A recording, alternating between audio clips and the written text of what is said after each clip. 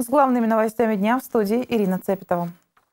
В Наринмаре продолжается следствие сразу по двум громким коррупционным делам. На прошлой неделе сотрудниками ФСБ были задержаны высокопоставленный чиновник окружной администрации и полицейский. Последний занимал должность начальника отдела экономической безопасности и противодействия коррупции. Обоих подозревают в получении крупных взяток на общую сумму 9 миллионов рублей. Мера пресечения злоумышленникам уже избрана. Олег Хатанзейский обо всем подробнее. Лежать! Лежать! Руки достал! Руки достал, сказал! Само задержание пособника полицейского проходило здесь, недалеко от здания Сбербанка. Пакет, в котором находилась лишь малая часть крупной взятки, 1 миллион рублей, посредник получил в машине. Она стояла примерно вот на этом месте. Но до Сергея Савельева, главного фигуранта уголовного дела, деньги так и не дошли. Чуть позже его задержали. На кадрах скрытой камеры, которая установлена в салоне машины, отчетливо видно. Вот посредник Сергея Савельева берет в руки пакет с деньгами и начинает их пересчитывать. Не люблю деньги считать, я верю. Я верю, а я вот не верю. Впрочем, после задержания мужчина уверял, что он якобы к получению взятки не причастен. Стоять! Уходим, уходим, ФСБ! Каких у меня денег нет?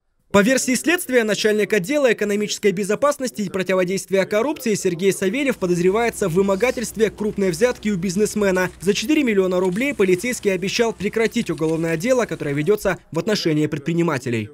16 декабря следственным отделом возбуждено уголовное дело в отношении начальника отдела по борьбе с экономическими преступлениями и противодействию коррупции МВД России по НАУ.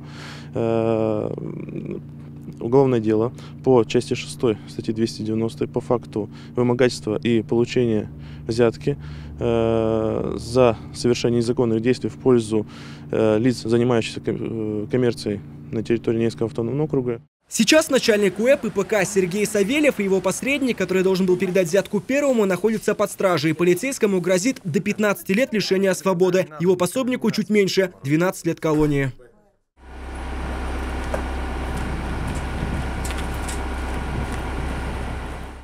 А вот еще один фигурант не менее громкого коррупционного дела. Николая Дроздова, начальника управления имущественных и земельных отношений администрации региона, также подозревают в получении крупной взятки. По версии следствия, чиновник вымогал у предпринимателя, который работал в сфере земельных отношений, 5 миллионов рублей. За эту сумму господин Дроздов пообещал бизнесмену составить положительный акт о приеме работ по восстановлению земель на одном из строительных объектов.